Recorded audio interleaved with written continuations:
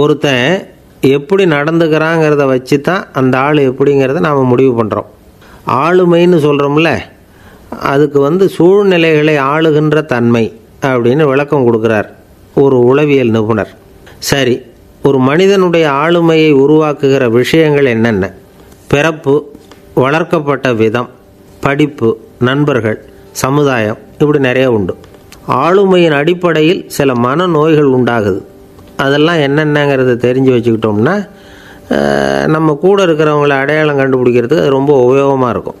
ஃப்ரனாய்டு ஆளுமை அப்படின்னு ஒன்று இந்த கோளாறு உள்ளவங்க எப்படி இருப்பாங்க தெரியுமா? அதிக உணர்ச்சி சந்தேகம் பொறாமை இதெல்லாம் அதிகமாக இருக்கும்.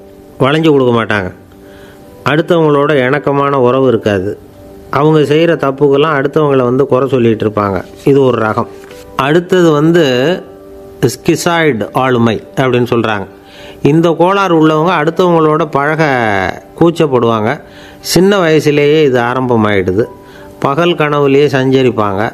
அவங்களுடைய விரோதம் கோபம் இதை கூட வெளியில் காட்டிக்க முடியாமல் இருப்பாங்க. இவங்களுக்கு அகமுகம். பிரச்சனைகள்லேருந்து ஒதுங்கி எதுலேயும் ஈடுபாடு இல்லாதவங்களா இருப்பாங்க. இப்படி ஒரு ரகம். அடுத்தது சைக்ளோதமிக் ஆளுமை அப்படின்னு சொல்கிறாங்க அது என்னென்னா உணர்ச்சிகளில் ஏற்றத்தாழ்வு அதிகமாக இருக்குமா? சில சமயம் பார்த்தா மகிழ்ச்சியாக இருப்பாங்க சில சமயம் சோகமாக உட்காந்துருப்பாங்க அவங்க மனநிலைக்கு தகுந்த மாதிரி சமூக நிகழ்ச்சிகளில் பங்கெடுத்துக்குவாங்க இன்னொரு வகை என்னென்னா எண்ண பீடிகை ஆளுமை அப்படின்னு பேர் வச்சுருக்கிறாங்க அதுக்கு. இவங்களுக்கெல்லாம் கரெக்டாக இருக்கணும் எல்லாம். சட்டத்திட்டம் எதுலேயும் ஒரு ஒழுங்குமுறை இப்படி எதிர்பார்க்குற மனோபாவம். இவங்க எதிர்பார்ப்புக்கும் வரன்முறைக்கும் மற்றவங்க கட்டுப்படணும்னு நினைப்பாங்க. இந்த நிலைமை நீடித்தா என்ன ஆகும் தெரியுமா? அலைக்கழிக்கிற எண்ணங்கள் திரும்ப திரும்ப ஒரே செயலை செய்ய தூண்டுற மன தளர்ச்சிக்கு ஆளாயிடுறாங்க. அடுத்தது ஹிஸ்டீரியா ஆளுமை. சின்ன விஷயத்தையெல்லாம் பெருசுபடுத்தி நாடகமாக்குற நடிகர்கள் இவங்க. உணர்ச்சி அதிகம் உள்ளவங்க. இவங்க மன எழுச்சியில் பக்குவமின்மை குழந்தைத்தனம் முதிர்ச்சியின்மை எல்லாம் இருக்கும். தன்னலம் மிக்க குணம். பிறர் வந்து தன்னை மட்டுமே கவனிக்கணும்னு நினச்சி செயல்படுறது. இதெல்லாம் இவங்க அடையாளம். அடுத்த ரகம் எப்படின்னா வளர்ச்சியற்ற ஆளுமைன்னு சொல்கிறாங்க அடுத்தவங்களோட இணங்கி போக முடியாதவங்க அறிவு மன எழுச்சி சமூக உறவு இதில் எல்லாம் போதுமான வளர்ச்சியையும் நிறைவையும் பெற முடியாதவங்க இவங்களால் வாழ்க்கையில் முன்னேற முடியாது. பிச்சைக்காரங்க குற்றவாளிகள் இவங்ககிட்டலாம் இது மாதிரியான ஆளுமை அதிகமாக இருக்குமா? அடுத்தது என்னென்னா சோர்வுடைய ஆளுமை.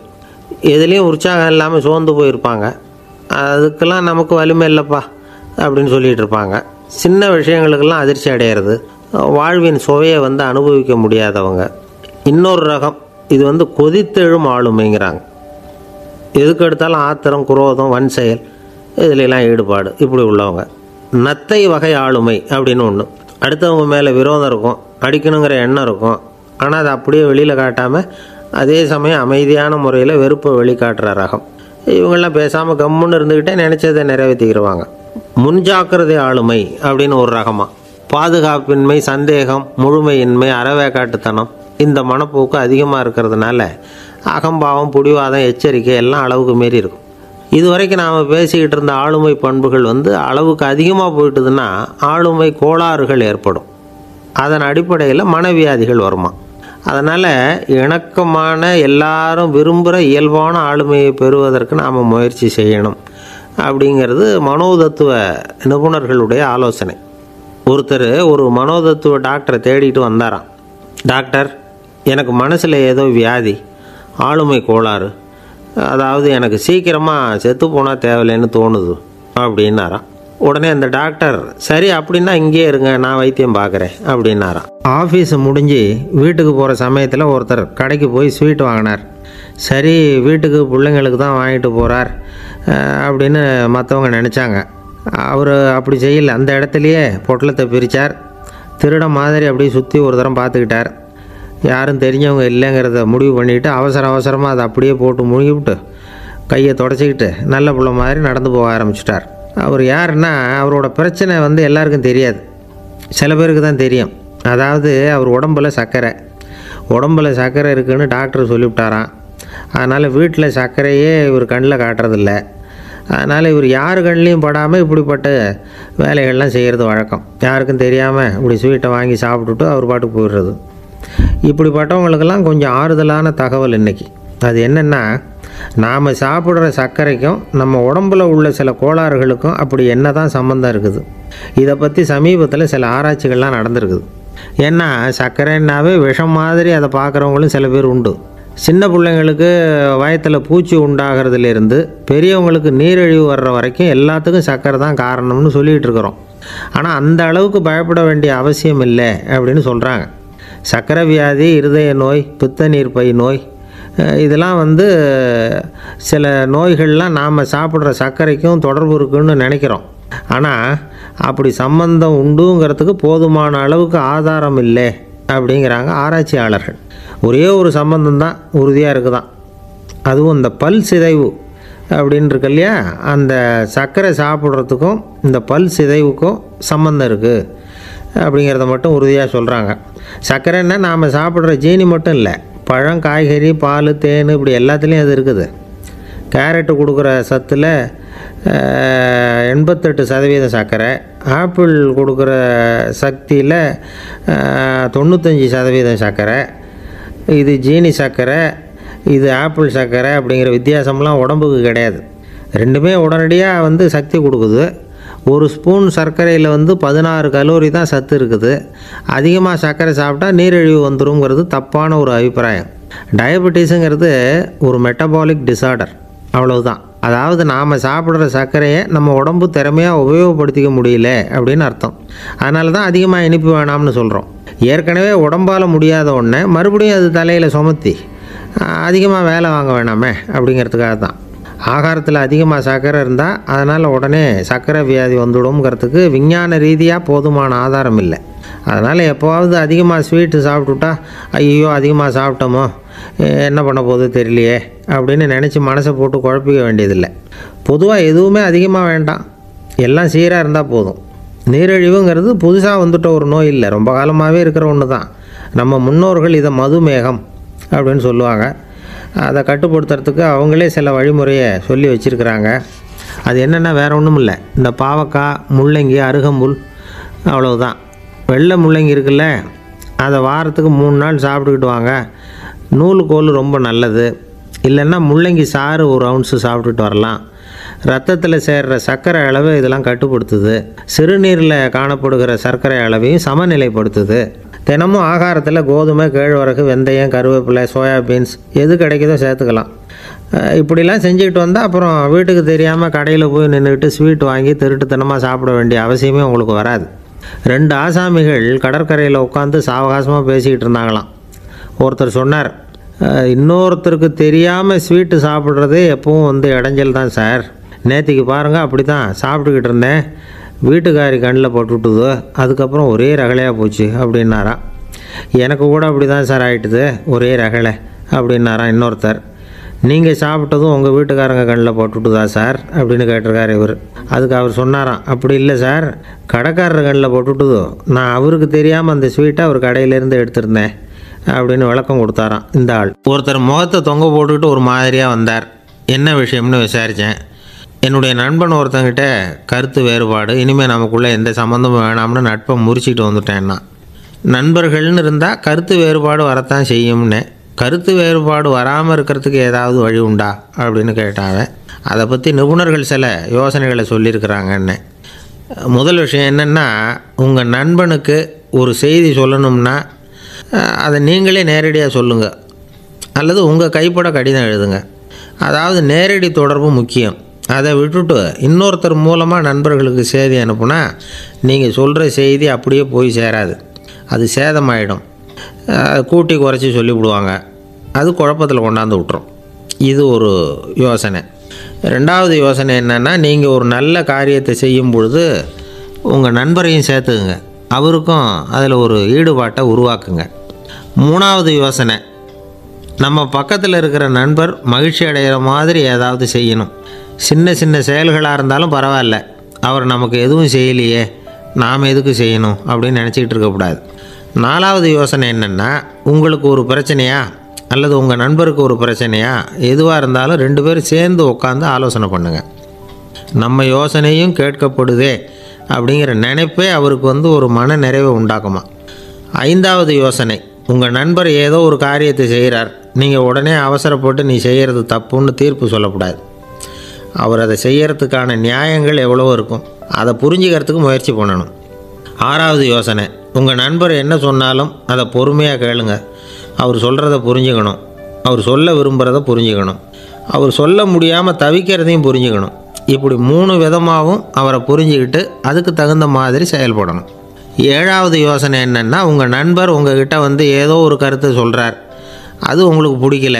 அதுக்காக உடனே நீ சொல்கிறது சரியில்லை. நான் ஒத்துக்க மாட்டேன் அப்படின்லாம் மறுத்துக்கிட்டு இருக்கக்கூடாது. அவர் சொல்கிறத கேட்கணும் பொறுமையாக சிந்திக்கணும் அதுக்கப்புறம் பதில் சொல்லணும். இப்படிலாம் நடந்துக்கிட்டால் நண்பர்களுக்குள்ள கருத்து வேறுபாடு வர்றதுக்கு வாய்ப்பே இருக்காது அப்படின்னு வல்லுநர்கள் தொகுத்து சொல்லியிருக்கிறாங்க இந்த யோசனைகளை. எனக்கு தெரிஞ்ச சில நண்பர்கள் உண்டு. அவங்களுக்குள்ளேயும் கருத்து வேறுபாடுகள் வராமல் இருக்கிறதுக்கு சில நுட்பங்களை கையாளுறது உண்டு. ஒருத்தர் சொன்னார் அந்த டாக்டர் சின்ன வயசுலேருந்து என் கூட பழகினவர். நாங்கள் ரெண்டு பேரும் இணை பிரியாத நண்பர்கள். இருந்தாலும் எனக்கு உடம்பு சரியில்லைன்னா நான் அவர்கிட்ட வைத்தியம் பார்த்துக்க மாட்டேன் அப்படின்னார் ஒருத்தர். ஏன் அப்படின்னு கேட்டேன். எங்கள் நட்பு கெட்டுப்போடக்கூடாது இல்லையா? அதனால தான் அப்படின்னாரு இவர். ஒரு மனுஷனுக்கு மூணு விதத்தில் கர்வம் உண்டாகிறதுக்கு வாய்ப்பு உண்டு. பணம் பதவி புகழ். பணம் அதிகமாக வந்தால் கர்வம் வரலாம். பதவி பெருசாக வந்துட்டுதுன்னா கர்வம் வரலாம். புகழ் அதிகமாக போனாலும் கர்வம் வரலாம். இந்த மூணு வகையான கர்வத்துக்கும் இடம் கொடுக்காம இருக்கிறாங்க பாருங்கள் அவங்க தான் சிறந்த மனிதர்கள். ஒரு பெரிய பொறுப்பில் இருக்கிறவங்களுக்கு கர்வம் வந்துடக்கூடாது. அப்படி வந்துட்டுதுன்னா அது எல்லாருக்கும் இடைஞ்சல். ஒரு ராஜா இருந்தார். அவர் ஒரு நாள் தன்னுடைய தலைநகரத்தை சுற்றி வந்துக்கிட்டு இருந்தார். ஒரு இடத்துல ஒரு அழகான நிலத்தை பார்த்தார். ஆஹா இந்த இடத்துல நமக்குன்னு ஒரு மாளிகையை கட்டினா எவ்வளோ நல்லாயிருக்கும் அப்படின்னு நினச்சார். ராஜா நினச்சா அது முடியாத காரியமா? சரி இந்த நிலம் யாருக்கு சொந்தம்னு விசாரிங்க அப்படின்னார் பக்கத்தில் இருந்தவங்கக்கிட்ட அவங்கெல்லாம் ஓடி போய் விசாரித்தாங்க அந்த இடம் வந்து ஒரு வயசான கிழவிக்கு சொந்தம். வயசான அம்மாவுக்கு சொந்தமாக அந்த அம்மா தான் அதில் ஒரு குடிசையை போட்டு குடியிருந்துகிட்டு இருக்கிறாங்க. சரி அந்த நிலத்துக்கு வந்து ஒரு விலையை நிர்ணயம் பண்ணி அதை அந்த வயசான அம்மா கிட்ட கொடுத்துருங்கோ அப்படின்னு உத்தரவு போட்டார் ராஜா. ஆனால் அந்த அம்மா இது எங்கள் பூர்வீக இடம். இதை விற்க மாட்டேன் அப்படின்னு சொல்லிவிட்டுது. சரி ரெண்டு பங்கு விலை கொடுக்குறோம்னு சொல்லி பாருங்க அப்படின்னாங்க. அப்படியே சொன்னாங்க அரண்மனை ஆட்கள். அதுக்கும் சம்மதிக்கலை அந்த அம்மா. இதை கேள்விப்பட்டதும் ராஜாவுக்கு கோபம் வந்துட்டுது. தன்னுடைய ஆளுங்களை கூப்பிட்டார். போய் அந்த குடிசையை பிரித்து எறிங்க. காசெல்லாம் ஒன்றும் கொடுக்காதீங்க அப்படின்னு கத்தினார். அவ்வளோதான் அடுத்த நிமிஷம் அரண்மனை ஆசாமிகள் போனாங்க குடிசையை பிரித்து எரிஞ்சாங்க அந்த வயசான அம்மா இருக்குது அதுவும் அந்த இடத்த விட்டு துரத்தி விட்டாங்க. அந்த இடத்துல ஒரு அரச மாளிகையை கட்டி முடிச்சிட்டாங்க. அந்த வயசான அம்மா பாவம். ராஜாவே இப்படி பண்ணால் யார்கிட்ட போய் முறையிட முடியும்? ஒரு ஞானி இருந்தார். அவர்கிட்ட போய் சொன்னாங்க. அவர் இவங்க சொன்னதை கேட்டு மனசில் வச்சுக்கிட்டார். ஒரு நாள் அந்த ராஜாவே இந்த ஞானியை கூப்பிட்டார். புதுசாக ஒரு மாளிகை கட்டியிருக்கிறேன் வந்து பாருங்கன்னு. சரின்னு சொல்லி இந்த பெரியவர் ஒரு நாள் அந்த மாளிகைக்கு போனார். சும்மா போகல ஒரு கழுதையையும் ஓட்டிகிட்டு போனார். கொஞ்சம் சாக்குகள் வெத்து சாக்கு. அதையும் எடுத்து கழுத முதுகில் போட்டு கழுதையை ஓட்டிகிட்டு போகிறார் ராஜா பார்த்தார். அவருக்கு இது ஆச்சரியமாக இருந்தது. என்ன இது மாளிகைக்கு வந்துட்டு போங்கன்னு கூப்பிட்டா கழுதை சாக்கு இதெல்லாம் கொண்டு வராரே. ஒன்றும் புரியலையேன்னு நினச்சார். எதுக்காக இதெல்லாம்னு கேட்டார். அரசருடைய தோட்டத்திலேருந்து கொஞ்சம் மண் எடுத்துகிட்டு போகிறதுக்கு ஆசைப்படுறேன். அதுக்கு நீங்கள் அனுமதி கொடுக்கணும். அப்படின்னாரு இவர். இது என்ன வேடிக்கையான கோரிக்கையாக இருக்குது அப்படின்னு நினச்சார் ராஜா. இருந்தாலும் மண் தானே கேட்குறாரு எடுத்துகிட்டு போகட்டுமே அப்படின்னு நினச்சார். சரின்னு அனுமதி கொடுத்தார். அந்த பெரியவர் தோட்டத்துக்கு போனார் மண்ணை வெட்டினார் சாக்கில் போட்டு நிரப்புனார். ராஜாவை கொஞ்சம் கிட்ட வாங்கன்னு கூப்பிட்டார். இந்த மண் மூட்டையை தூக்கி கழுதையோட முதுகில் வைக்கணும் கொஞ்சம் உதவி பண்ணுங்கன்னார். ஓ பண்ணுறேனே அப்படின்னு சொல்லி ராஜா கிட்ட போனார். மூட்டையை தூக்கி பார்க்குறாரு முடியல. திணறி போயிட்டார். இப்போ அந்த ஞானி பேசினாராம் அரசே இந்த ஒரு சாக்கு மண்ணையே உங்களால் தூக்க முடியல. அந்த கிழவிகிட்ட இருந்து அந்த அக்கிரமமாக அபகரித்த இந்த தோட்டம் பூராவையும் சுமக்கணும்னு ஆசைப்படுறீங்களே அது உங்களால் முடியுமா? அப்படின்னு கேட்டாராம். ராஜா யோசனை பண்ண ஆரம்பித்தார் தன்னுடைய செயலுக்காக வருத்தப்பட்டாராம். அந்த வயசான அம்மாவை உடனடியாக வரவழைச்சார். தாயே தப்பு பண்ணிட்டேன். என்னை மன்னிச்சுக்குங்க. இன்னையிலேருந்து இந்த மாளிகையும் தோட்டமும் உங்களுக்கு தான் சொந்தம் அப்படின்னு சொல்லிவிட்டாராம். போகிறப்ப இந்த உலகத்திலேருந்து எண்ணத்தை எடுத்துகிட்டு போக போகிறோம் அதனால் ரொம்பவும் அலட்டிக்க வேண்டியதில்லை கர்வப்பட வேண்டியதில்லை அப்படிங்கிறது ஒரு பெரிய உபதேசம். ஒரு பெரிய மனுஷன் சாக கிடந்தார் ரொம்பவும் அழுதார். ஏன் அழறீங்க? அப்படின்னு கேட்டாங்க சுற்றி இருந்தவங்க. நான் சாகிறதுக்காக கவலைப்படலை. நான் வந்து நம்ம ஜனங்களுக்காக எவ்வளவோ காரியம்லாம் செஞ்சுக்கிட்டு வந்தேன். நான் செஞ்சுக்கிட்டு வந்த சேவையை இனிமேல் யார் செய்ய போகிறாங்க அது யாரால் முடியும்? அதை நினச்சி தான் அழகிறேன் அப்படின்னாராம் ஒருத்தர் முன்னாடி வந்தார். அதுக்காக நீங்கள் கவலைப்படாதீங்க. உங்கள் சேவையை தொடர்ந்து செய்கிறதுக்கு என்ன மாதிரி இளைஞர் பட்டாலும் தயாராக இருக்குது இருந்தாலும் எங்கள் கவலை என்னென்னா அப்படின்னு இழுத்தார். என்ன சொல்லுங்கன்னு கேட்டார் அவர். நீங்கள் இது வரைக்கும் என்ன சேவை செஞ்சுக்கிட்டு வந்தீங்க? அதுதான் எங்களுக்கு இன்னமும் புரியாத புதிராக இருக்குது அப்படின்னாராம் அவர். இந்த காலத்து புள்ள ஒருத்தன் தன்னோட அப்பாவை பார்த்து சொன்னான் அப்பா நான் உனக்கு உதவி செய்யலாம்னு நினைக்கிறேன். என்ன உதவி செய்யணும்னு சொல்லு அப்படின்னா நீ சும்மா இருந்தால் அதுவே எனக்கு செய்கிற பெரிய உதவிடா அப்படின்னார் அப்பா. சும்மா இருக்கிறதும் ஒரு உதவி தான் அது மாதிரி மௌனமும் ஒரு சமூக சேவை தான் அப்படிங்கிறார் காஞ்சி பெரியவர். நமக்கு வந்து ஐந்து புலன்கள் இருக்குது மெய் வாய் கண் மூக்கு செவி. இந்த அஞ்சுலேயும் அதிகப்படியான வேலை எதுக்குன்னு நினைக்கிறீங்க? வாய்க்கு தான். ஏன்னா அதுக்கு ரெண்டு வேலை. இப்போ கண்ணுக்கு பார்க்குறது மட்டும்தான் வேலை. காதுக்கு கேட்குறது மட்டும்தான் வேலை. மூக்குக்கு வாசனை அறியறது தான் வேலை. உடம்புக்கு உணர்றது மட்டும்தான் வேலை. ஆனால் வாய் அப்படி இல்லை. அதுக்கு ரெண்டு வேலை. சாப்பிட்றதும் அதுதான் பேசுகிறதும் அதுதான். அதாவது வாய் ஒன்று தான் கர்மேந்திரியமாகவும் இருக்குது ஞானேந்திரியமாகவும் இருக்குது. அப்படின்னு சொல்லுவாங்க. சாப்பாட்டில் உட்காந்தா எந்தெந்த ஆகாரம் என்னென்ன ருசின்னு அறிவிக்கிற வேலையும் செய்யுது. சபையில் உட்காந்தா பாடுறது பேசுறது சிரிக்கிறது இது மாதிரியான வேலையும் செய்யுது. இன்னொரு வித்தியாசம். கண்ணு காது மூக்கெல்லாம் ஸ்ட்ரெயின் பண்ணிட்டு வேலை செய்கிறதில்ல ஒரு ரோஜா பூ பார்த்தா உடனே மூளை மூக்கு அப்படியும் இப்படியும் அசைய ஆரம்பிக்கிறதில்ல. ஒரு சங்கீதத்தை கேட்ட உடனே காது ஆட ஆரம்பிக்காது. ஆனால் வாய் அப்படி இல்லை. அது பேசினாலும் சரி சாப்பிட்டாலும் சரி அசைஞ்சு தான் ஆகணும். ஆக மற்றதை விட வாய்க்கு வேலை ஜாஸ்தின்னு தெரியுது. சாப்பிட்றது பேசுறது அப்படின்னு ரெண்டு காரியம் அதுக்கு. இப்படி ரெண்டு காரியம் இருக்கிறதுனால அது ரெண்டையும் பாதியாக குறைச்சிக்கணுங்கிறது கடவுள் அபிப்பிராயமாக இருக்கணும் அப்படிங்கிறார் காஞ்சி பெரியவர். ஆனால் இப்போ நாம் அப்படியே நடந்துக்கிறோம்? அதுக்கு நேர்மாறாக நடந்துக்கிறோம். நாம் சாப்பிட்றதும் அதிகம் பேசுகிறதும் அதிகம். ரெண்டு வேலையையும் தேவைக்கு அதிகமாகவே செய்கிறோம். வாய் தான் ரொம்ப ஓவர் ஒர்க்குடு அதுக்கு ஓய்வு கொடுத்தா உடம்பும் நல்லாயிருக்கும் உலகமும் நல்லாயிருக்கும் மௌன விரதம் இருக்கிறதெல்லாம் எதுக்காக நினைக்கிறீங்க? இதுக்காக தான். இந்த காலத்தில் மௌனமாக இருக்கிறவங்கெல்லாம் மகத்தான தொண்டு செய்கிறாங்க அப்படின்னு தான் சொல்லணும். சத்தம் அதிகமாக போய் தான் சவுண்டு பொல்யூஷன் வருது. அது மட்டும் இல்லை மௌனமாக இருந்தால் சண்டை சச்சரவே வராது. மௌனம் கலக நாஸ்தி. ஆக இதுவும் ஒரு சமூக சேவை தான். நமக்கு தான் வாய் இருக்குதேங்கிறதுக்காக வசமாக சாப்பிட்றதும் தப்பு வளவளன்னு பேசுகிறதும் தப்பு.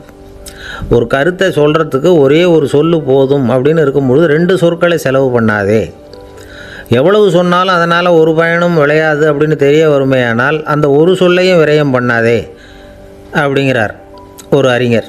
எல்லா குணங்கள்லேயும் மௌனம்தான் சிறந்தது அப்படிங்கிறார் ஒருத்தர். மௌனமாக இருக்கிறது மூலமாக மற்றவர்கள் குறைகளை வந்து நம்மால் தெரிஞ்சுக்க முடியும். அதே சமயத்தில் நம்மக்கிட்ட இருக்கிற குறைகளை மற்றவங்களுக்கு தெரியாமல் மறைச்சிக்கவும் முடியுங்கிறார் அவர். உண்மைதானே? ஒரு பெரிய மேடை பேச்சாளர் பொது வாழ்க்கையில் இருபத்தஞ்சி வருஷ காலமாக ஈடுபட்டிருக்கிறவர். அவர் மனைவி ஒரு நாள் சொன்னாங்க எங்கள் வீட்டுக்காரர் இருபத்தஞ்சி வருஷ காலமாக பொது வாழ்வில் ஈடுபட்டிருந்தா கூட இந்த மாதம் பத்தாம் தேதியிலிருந்து தான் மக்களுக்கு சேவை செய்ய ஆரம்பிச்சிருக்கார் அப்படின்னு நாங்கள் ரொம்ப பெருமையாக பத்தாம் தேதிக்கு அப்படி என்ன விசேஷம்? அப்படின்னு கேட்டோம். அன்னையிலேருந்து தான் அவர் மேடையில் பேசுகிறத நிறுத்தினார் அப்படின்னாங்க அந்த அம்மா. ஒரு நண்பர் அவசரமாக என்கிட்ட ஓடி வந்தார் அப்புறம் சொன்னார் என்னால் நம்பவே முடியல சார். என் பையனை அப்படி அப்படின்னு சொல்லி ஆச்சரியப்பட்டார். உங்கள் பையன் அப்படி என்ன தான் செஞ்சுட்டான் அப்படின்னு கேட்டேன். என்னால் முடியாத ஒரு காரியத்தை அவன் செஞ்சுட்டான் சார் அப்படின்னார். அது என்னன்னு தான் சொல்லுங்களேன் என்ன. அஞ்சாவது வகுப்பில் அவன் ஒரே தடவையில் தேறிட்டான் சார். அதாவது ஒரே அட்டம்ப்டில் பாஸ் ஆகிருக்கான் அப்படின்னார் மூச்சு வாங்க. கஷ்டப்பட்டு பரீட்சை எழுதுனது அவன். இவருக்கு ஏன் மூச்சு வாங்குது? நம்மால் செய்ய முடியாத ஒரு காரியத்தை இன்னொருத்தர் செய்யும் பொழுது அது நமக்கு ஆச்சரியமாக இருக்குது. சர்க்கஸ் பார்க்குறோம். ஒருத்தர் அந்த இடத்துல தொங்குறார் அது நமக்கு ஆச்சரியம். ஏன்னா அது நம்மால் முடியாத காரியம். நம்மால் முடியாத ஒன்றை அடுத்தவர் எளிதாக செய்யும் பொழுது நாம் மருள்வது இயற்கை. இதை தான் தொல்காப்பியம் மருட்கை அப்படின்னு சொல்லுது. இந்த வியப்பு இருக்குதே இது நாலு வகையில் ஏற்படுறதாக தொல்காப்பியம் சொல்லுது. அது என்ன? நாலு வகை. முதல் வகை எப்படின்னா புதுமையான அரிய செயல்களை செய்கிறது. ரெண்டாவது வகை என்னென்னா பெரும் செயல்களை செய்கிறது. மூணாவது வகை என்னென்னா மிக நுட்பமான செயல்களை செய்கிறது. நாலாவது வகை என்னென்னா ஆக்கம் தரும் செயல்களை செய்கிறது. புதுமை பெருமை சிறுமை ஆக்கமோடு மதினம் சாலா மருட்கை நான்கே அப்படிங்கிறது தொல்காப்பியம். இன்றைக்கி விஞ்ஞானம் வந்து புதுசு புதுசாக எதை எதையோ கண்டுபிடிக்குது. ஆரம்பத்தில் அது ஆச்சரியமாக இருக்குது அப்புறம் அது நமக்கு பழகி போடுது வானொலி பெட்டி புதுசாக வந்தப்போ ஒரு பெட்டி பேசுதுங்கிறது எவ்வளோ பெரிய ஆச்சரியம். இப்போ யாரும் அதை ஆச்சரியமாக பார்க்குறதில்ல மதினம் சாலா மருட்கை அப்படின்னு ஒரு சொற்றொடர் வருது பாருங்கள் அதில் கருத்தாழம் உண்டு.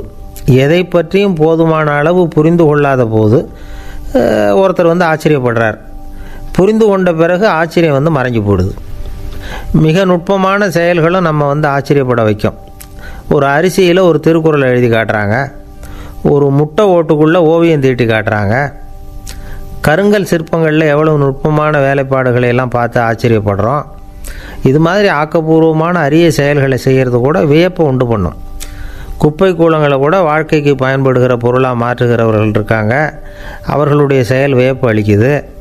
இடைக்காட்டு சித்தர் பாடின மூவடி முப்பதுங்கிற நூலில் வர்ற ஒரு பாடல் ஆற்றல் பிறர் அறிதலின் அகம் கிளர்வு உறுதலின் கற்று அறிபாணர் கழுமிய கெழுமிய கோடலின் தோற்றம் உருகவே போற்றல் சால் வியப்பே. ஒருத்தருடைய ஆற்றல் தெரியாமல் இருந்தது. அவருடைய அரிய செயலை பார்க்கும் பொழுது வியப்பாக இருந்தது. மனசுக்குள்ள கிளர்ச்சி. பாவலர்கள் இந்த இவர்களுடைய புகழை பாடி மற்றவர்களும் தெரிந்து கொள்ளுமாறு செய்கிறார்கள் அப்படிங்கிறது தான் ஒரு யதார்த்தமான உண்மை. ஆக எல்லா வகையிலும் வந்து மக்கள் வந்து தங்களுடைய வாழ்க்கையில் முன்னேறுவதற்கான வழிகாட்டுகிற ஒரு மெய்ப்பாடு தான் வியப்புங்கிறது இந்த காலத்தில் நம்ம எப்படி எப்படியெல்லாம் ஆச்சரியப்பட வைக்கிறாங்க? ஒரு ஆளை பிடிச்சி ஜெயிலில் கொண்டு வந்தாங்க. ஜெயில் அதிகாரி அவனை ரொம்ப ஆச்சரியமாக பார்த்தாராம். இவன் கேட்டான் ஏன் சார் அப்படி பார்க்குறீங்க? நான் இப்போ இங்கே வர்றது உங்களுக்கு ஆச்சரியமாக இருக்குதா? அப்படின்னு கேட்டிருக்கான். இதுக்கு ஜெயில் அதிகாரி சொல்லியிருக்கார். நீ இப்போ இங்கே வந்ததில் எனக்கு ஒன்றும் ஆச்சரியம் இல்லைப்பா. ஏற்கனவே நீ இங்கேருந்து விடுதலையாகி போய் ஆறு மாதம் ஆச்சு. இவ்வளவு லேட்டாக வர்றியே அதுதான் எனக்கு ஆச்சரியமாக இருக்குது அப்படின்னாராம். ஒருத்தர் ஒரு தவறு செஞ்சு விடுறாருன்னு வச்சுக்கோங்க. உடனே நீ செஞ்சது தவறு அப்படின்னு சொல்கிறது ஒரு வகை. அதுக்கு பதிலாக எது சரின்னு அவர் புரிந்து கொள்ள உதவி செய்கிறது இன்னொரு வகை. இந்த ரெண்டாவது வகை இருக்குது பாருங்கள் நிர்வாக இயலில் இது ரொம்ப முக்கியம். அலுவலகத்தில் வேலை பார்க்குற ஒருத்தர் முக்கியமாக தெரிஞ்சுக்க வேண்டியது என்ன தெரியுமா? சக ஊழியர்கள்கிட்ட எப்படி பழகணும்? மேலதிகாரிகள்கிட்ட எப்படி பழகணும்? தனக்கு கீழே வேலை செய்கிறவங்கக்கிட்ட எப்படி பழகணும்? வாடிக்கையாளர்கள்கிட்ட எப்படி பழகணும்? இவங்க எல்லார்கிட்டேயும் செம்மையான உறவை ஏற்படுத்திக்கிறது எப்படி? இதையெல்லாம் சொல்லிக் கொடுக்குற பாடம் தான் இன்டர் பர்சனல் ஸ்கில் திறமையான உறவு அப்படிங்கிறது. எந்த வேலையில் இருந்தாலும் சரி இந்த உறவுகளை வளர்க்கும் திறன் உள்ளவங்க சீக்கிரம் முன்னுக்கு வந்துடுறாங்க. மற்றவங்கக்கிட்ட உறவை பலப்படுத்திக்கிறது எப்படி அப்படின்னு தெரிஞ்சுக்கிட்டோம்னா எந்த ஒரு தடையையும் சுலபமாக தாண்டி செய்கிற தொழிலில் முன்னுக்கு வந்துடலாம். ஹார்வர்டு பல்கலைக்கழகத்தில் ஒரு கணக்கெடுப்பு பண்ணி பார்த்தாங்களாம். பார்க்குற வேலையில் எது மாதிரி குணாதிசயம் உள்ளவங்க வேகமாக முன்னுக்கு வர்றாங்க அப்படின்னு தெரிஞ்சுக்கிறதுக்காக இந்த கணக்கெடுப்பு வெவ்வேறு துறையில் வேகமாக முன்னுக்கு வந்திருக்கிற பல பேரை சந்தித்து இந்த சர்வேயை நடத்தியிருக்கிறாங்க அவங்க கண்டுபிடிச்சி சொல்லியிருக்கிற உண்மை என்ன தெரியுமா? ஒருத்தர் ஒரு வேலையில் இருந்தால் அது சம்பந்தப்பட்ட சப்ஜெக்ட் பற்றிய அறிவு முப்பத்தைந்து சதவீதம் இருந்தால் போதுமா? ஆனால் உறவுகளை வளர்க்கக்கூடிய திறன் இன்டர் பர்சனல் ஸ்கில்லு அறுபத்தைந்து சதவீதம் வேணும். இப்படி உள்ளவங்க சீக்கிரம் முன்னுக்கு வந்துடுறாங்களாம். அதனால் ஒருத்தருக்கு வேலை சரியாக புரியலைன்னா கூட விவரமாக மற்றவங்கக்கிட்ட பழகிறது எப்படின்னு புரிஞ்சால் போதும். அவர் முன்னுக்கு வந்துடலாம். அலுவலகங்களில் மட்டும் இல்லை எல்லா இடங்கள்லையும் இது ரொம்ப முக்கியம். வீட்டுக்குள்ளேயும் இது ரொம்ப முக்கியம். வீட்டுக்கு வெளியேயும் இது முக்கியம். அடுத்தவங்கக்கிட்ட பழகிறது எப்படிங்கிறத தெரிஞ்சுக்காதவன் வாழ்க்கையில் முன்னேற முடியாது. இன்னைக்கு ஆயுதங்களால் காயப்படுத்தி கொள்ளுகிறவர்களை விட வார்த்தைகளால் காயப்படுத்தி கொள்ளுகிறவர்கள் தான் அதிகம். பெரியவங்க என்ன சொல்கிறாங்க தெரியுமா? நீங்கள் இந்த பூமியில் பிறந்ததன் அர்த்தம் பூர்த்தி ஆகணும்னா அடுத்தவங்களுக்கு உதவி பண்ணுங்க. அடுத்தவங்களுக்கு உதவி செய்ய முடியாவிட்டால் கூட பரவாயில்லை. ஆனால் யாரையும் புண்படுத்தி விடாதீங்க அப்படின்னு சொல்கிறாங்க எனக்கு தெரிஞ்ச ஒருத்தர் ஒரு அலுவலகத்தில் வேலை பார்க்குறார். அவர் சொல்லுவார் எனக்கு இந்த இன்டர் பர்சனல் ஸ்கில் ரொம்ப அதிகம் சார். சக ஊழியர்கள்கிட்ட ரொம்ப சுமூகமாக நடந்துக்குவேன். என் கூட வேலை பார்க்குற ஒருத்தருக்கு ஏதாவது ஒரு கஷ்டம்னா அந்த சமயத்தில் அவர் செய்ய வேண்டிய வேலையை நான் செஞ்சிருவேன் சார் அப்படிம்பார். நான் அவர்கிட்ட சமீபத்தில் அப்படி ஏதாவது செஞ்சுருக்கீங்களா? அப்படின்னு கேட்டேன். செஞ்சுருக்கேன் சார். போன வாரம் புதன்கிழமை ஆஃபீஸில் என் பக்கத்து சீட்டுக்காரருக்கு வயிற்று வலி. உடனே நான் மெடிக்கல் லீவ் போட்டுவிட்டு எங்கள் வீட்டுக்கு போயிட்டேன் சார் அப்படின்னார். ஒரு அம்மா தெருவில் உட்காந்து என்னத்தையோ தேடிட்டு இருக்கிறாங்க.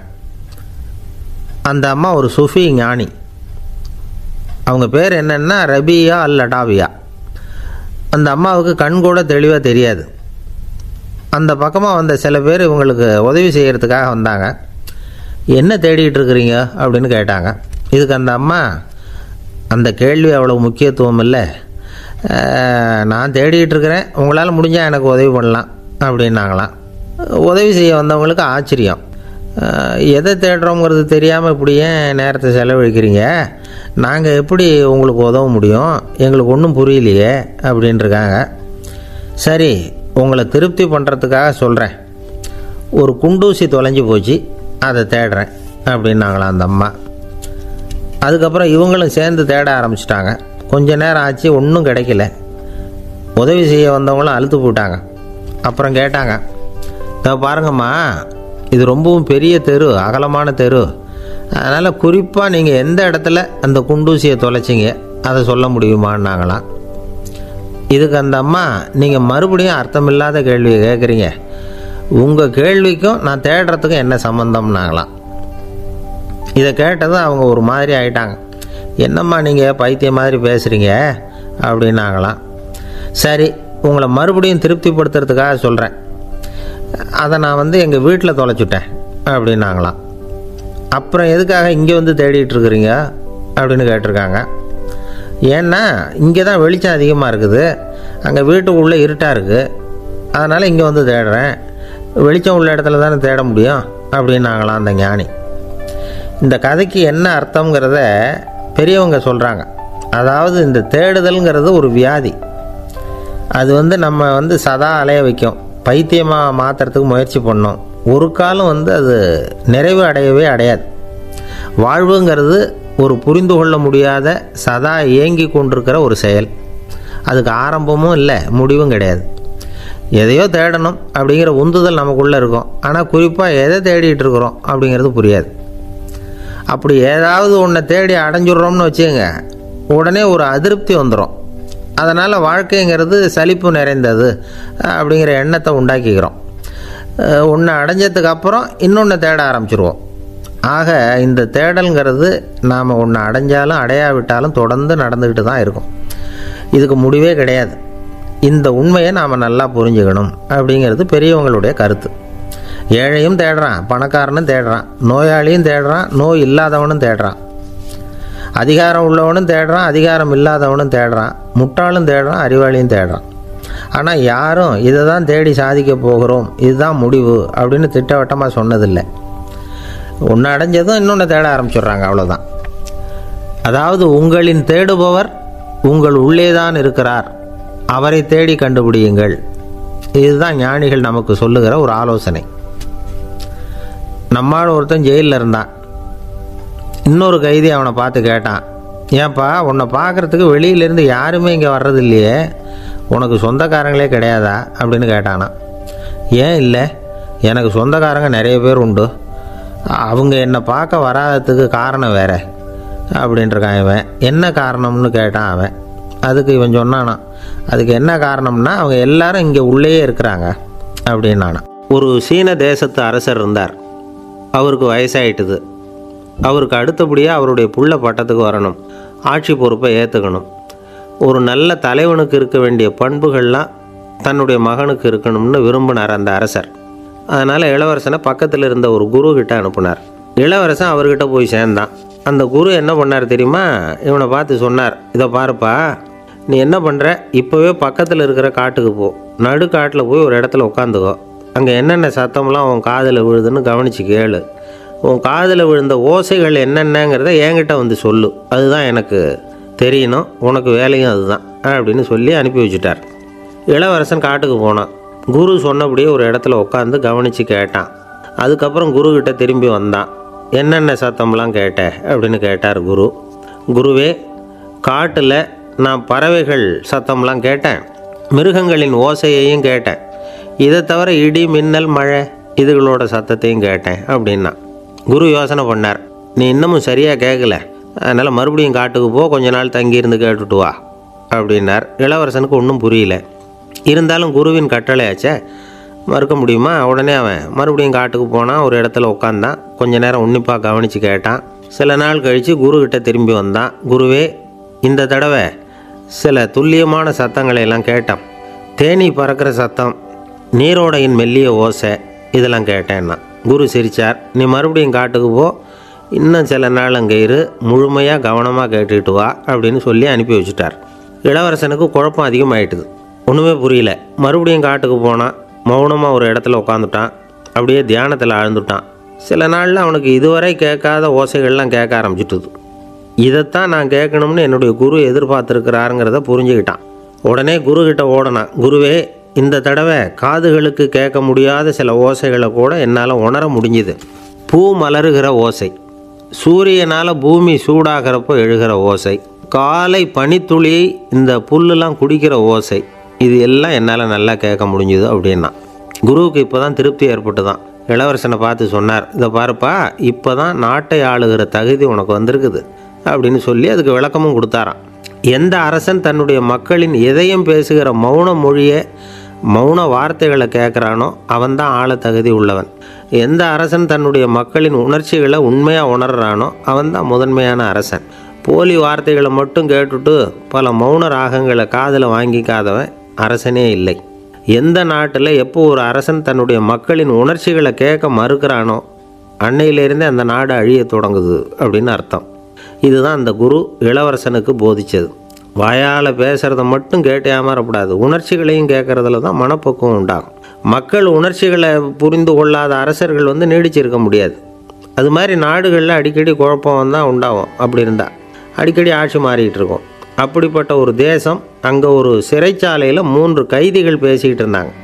ஒருத்தன் சொன்னான் நான் இந்த நாட்டு ராஜாவை எதிர்த்து பேசிக்கிட்டு இருந்தேன். அதனால் என்னை பிடிச்சி கொண்டாந்து இங்கே போட்டுட்டாங்க. அப்படின்னு நான் ஒருத்தன். இன்னொருத்தன் சொன்னான் நான் இந்த நாட்டு ராஜாவை ஆதரித்து பேசிக்கிட்டு இருந்தேன். அதனால் என்னை பிடிச்சி கொண்டாந்து இங்கே தள்ளிவிட்டாங்க. அப்படின்னா அது சரி நீ என்ன தப்பு பண்ண? அப்படின்னு சொல்லி மூணாவது ஆளை பார்த்து இவங்க கேட்டாங்க. அதுக்கு அந்த ஆள் சொல்கிறான் நான் தான் இந்த நாட்டு ராஜா. அப்படின்னானான்